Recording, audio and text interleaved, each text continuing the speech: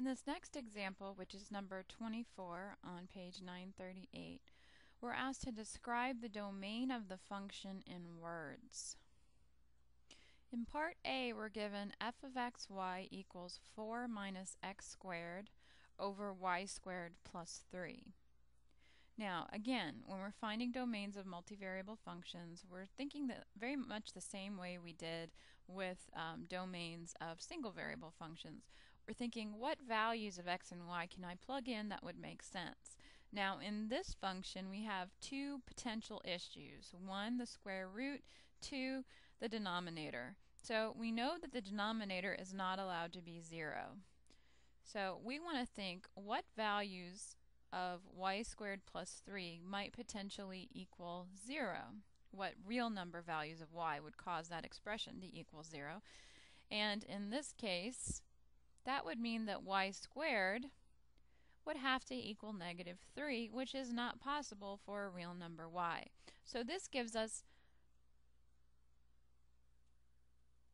no restrictions on our domain. However, we still need to look at the square root portion. And a square root causes us to ask the question, um, what values of x might cause this radicand to be negative? Because we can only have radicands that are positive or zero. Well, the way that we would approach that problem is to solve the inequality 4 minus x squared is greater than or equal to 0. These would give this would give us the values um, of x that would be in our domain. And so to solve this inequality, we would factor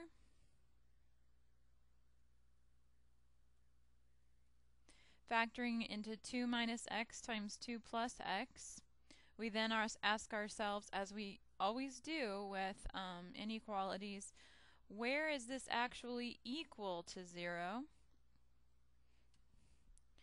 And you can either draw this in the xy coordinate system or um, if just to kind of simplify the thinking process, we're going to just kind of forget that we're working in the xy coordinate system just for a minute. And we'll just talk about what values of x work for this expression? Well, if x is equal to negative 2 or 2, then this expression is equal to 0.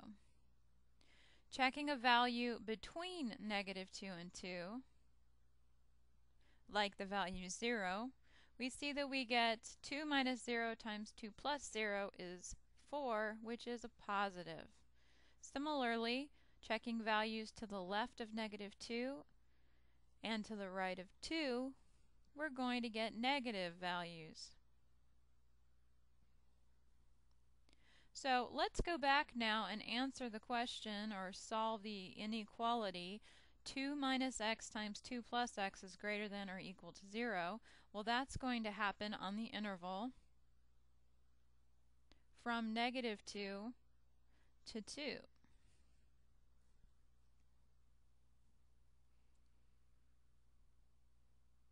So let's then describe, we are restricted then in this case to x values being between to x values being between negative 2 and 2. But there were no restrictions on the y. Now, they didn't ask us to draw a graph of this. In this case, he just asked us to describe the domain of the function in words. So I could say that it'll be any ordered pair xy such that the x coordinate is between negative 2 and 2 inclusive and the y coordinate is unrestricted.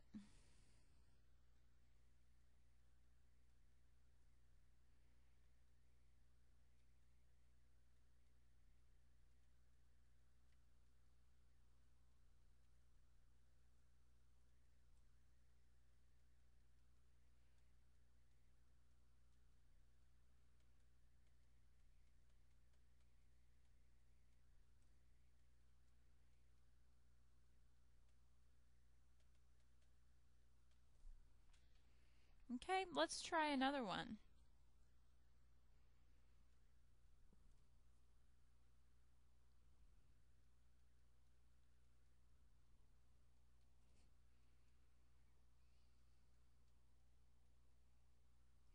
So this one is the function f of xy equals the natural log of y minus 2x.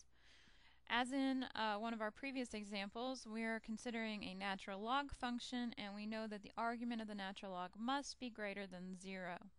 So let's write that down. So y minus 2x has to be greater than 0.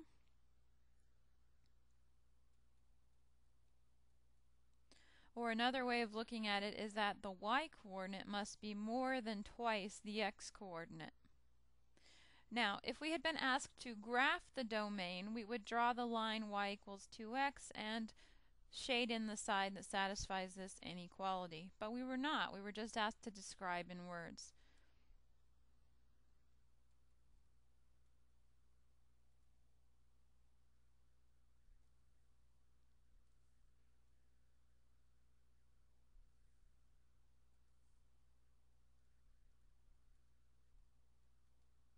So the domain is the set of all ordered pairs xy such that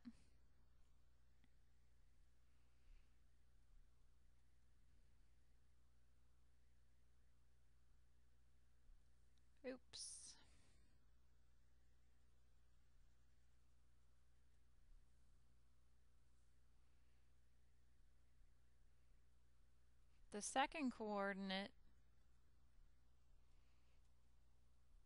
is more than twice the first. And that would be one way of describing the domain of the function f of xy equals natural log of y minus 2x.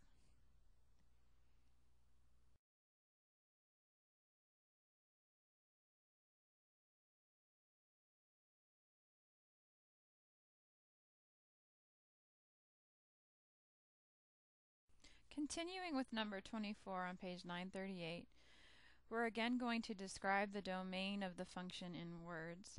And in part C, we're given a new situation. We're given a three-variable function, f of x, y, z equals x, y, z over x plus y plus z.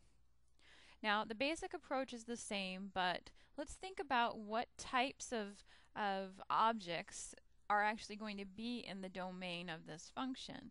Instead of being um, two coordinate objects or ordered pairs, we have ordered triples, which are points in the xyz coordinate system. So um, the scenario here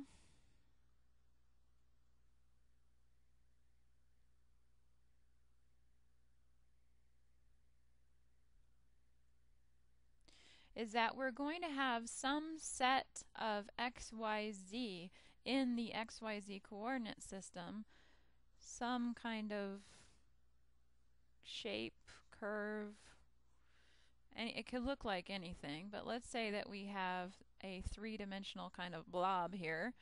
So here is this set of points x, y, z, and any point x, y, z in this set is going to be sent to a single real number value.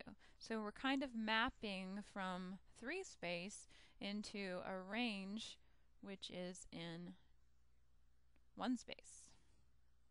Maybe it's an interval, maybe it's a whole bunch of intervals, but here is our um, function uh, y, uh, our function's um, resulting value. This is our domain over here and this these points map to our range. Okay, so with that in mind, let's go ahead and try and figure out what is this blob in this case.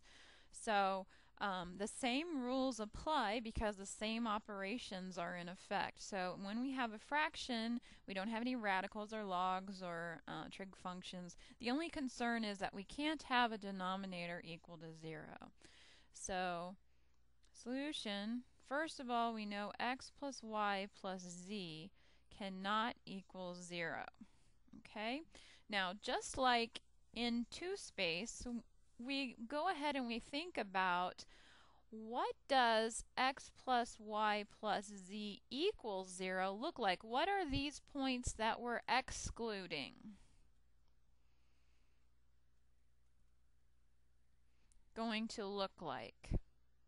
Well, you might recognize this as the equation of a um, plane in three space. Recall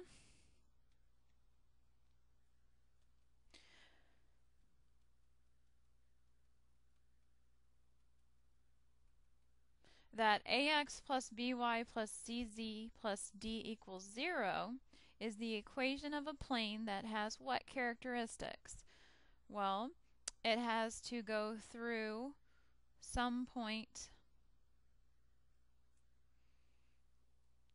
xyz and it has to um, be normal to the vector ABC. So what we're talking about, the points that we're going to exclude are going to be points that go through some point that satisfies this equality and is normal to, and the plane is normal to the vector 1, 1, 1, the coefficients of x, y, and z.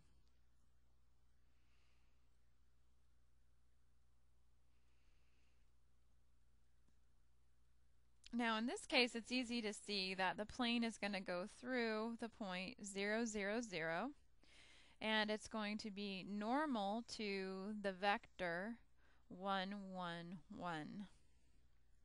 Now if we were to try to sketch this, which by the way we were not asked to do, um, we would have a plane that is going to cut through the origin at a 45 degree angle to the uh, xy plane and um, but it's enough to say in this case that we are that the domain